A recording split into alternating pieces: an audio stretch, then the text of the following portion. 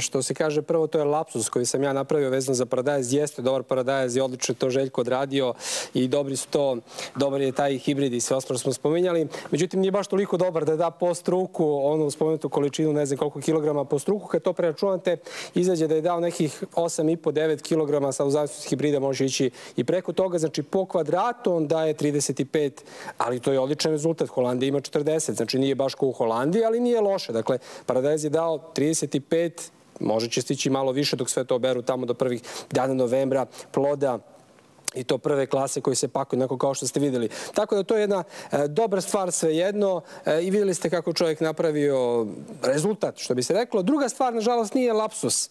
Druga stvar je nešto što smo mi uradili ali je veoma problematično jeste greška. Tu grešku je napravilo Ministarstvo privrede i agencije za privatizaciju koju smo mi zvali jer smo htjeli da ih pitamo šta će biti s IMT-om, šta je plan, šta će biti s PKB-om. Mi ne želimo ništa ovde da, ne znam, ne predlažemo ili bilo šta da osuđujemo ili šta god, ali da čujemo samo šta ti ljudi mogu da očekuju. Znači, to nije neka tajna, nije to nuklearna centrala, pa se ne zna kome će se prodati, da li se prodati samo zemljište, će se prodati i strugove i mašine, će sve to da iseckaju u starog vođe, kao što se, na primjer, uradili u Budimki, gde su iseckali u starog vožđe jedino postrojenje za proizvodnju pektina u Srbiji, pa sad mi svi, cela industrija uvozi pektin iz okoline, to je nešto što se dobija iz jabuke, kao želatinizator se koristi, nije bitno. Znači, očekujemo u narednim emisijama, nek dođu, nek kažu, nek kažu tim ljudima, idete na ulicu, ali nek im kažu da ovi znaju, znači da se ne nadaju, nego da znaju šta će ih znači. Ako ima plana, ako nema plana, ne kažu i to, samo da znamo na čemu smo. Dakle, to ste videli, čuli ste šta se dešava u MT-u, pratići koleginica Đurić i dalje šta tu ovako ima interesantno. Mi sad slikom idemo na neke malo smirenije teme. Duvan. Duvan je interesantna biljka i duvanska industrija svake zemlje je veoma, veoma važna stvar. Mi smo bili u raznim zemljama u poslednjim ovako mesecima i donećemo to priloge, emitovat ćemo ih polako ovako kako vreme prolazi. Međutim, sad ćemo otići do Rovinja.